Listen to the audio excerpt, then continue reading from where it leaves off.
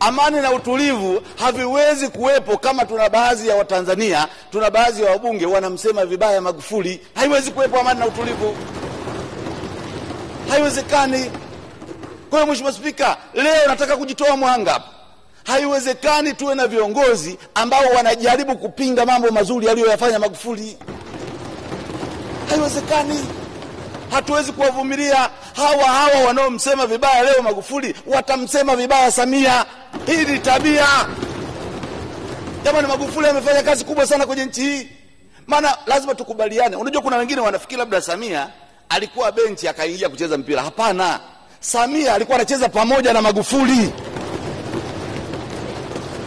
na aliyemtaja Samia ni Magufuli mwenyewe na siku zote Mheshimiwa Magufuli amekuwa akisema kama akijitabiria kifo chake, kila hotuba yake akisema sasa siku moja nitakufa. Kwa hiyo alikuwa anajua akiondoka yuko Samia.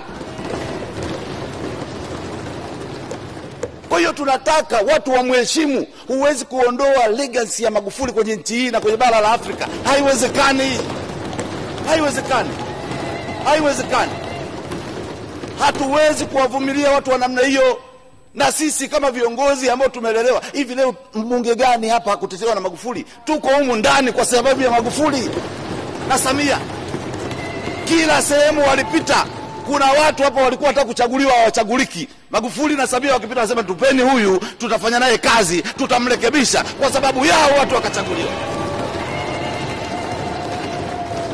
Leo wasemu vibaya, si tupo Leo Magufuli asemu vibaya, hata arobaini haijaisha. Spika, hili jambo alikubaliki. Hawa watu washike adabu na adabu ziwashike. Hatutaki warudie tena mambo ya kipuuzi kama haya.